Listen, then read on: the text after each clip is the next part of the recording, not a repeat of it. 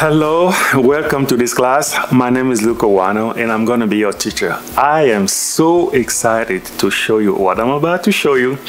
In just seven days, we're going to build a passenger transportation company from scratch all the way to getting a website and publishing that website and you being in business.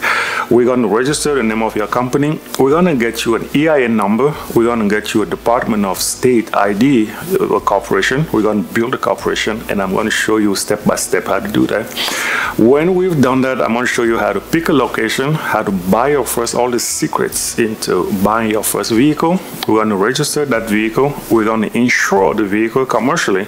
Then we're going to build a website, a basic website. And inside that website, now we're going to get a booking engine and add it to the website so your clients can download your app or go online and book through your website. They can quote, they can confirm, they can pay, inside your website. We're to learn how to do that. I'm to show you step by step how you build your own website.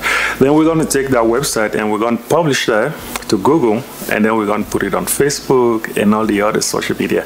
So I am so excited that in just seven steps, seven steps in seven days, you're to have your own passenger transportation company. I am so excited and I hope you are. All right. So I see you in class.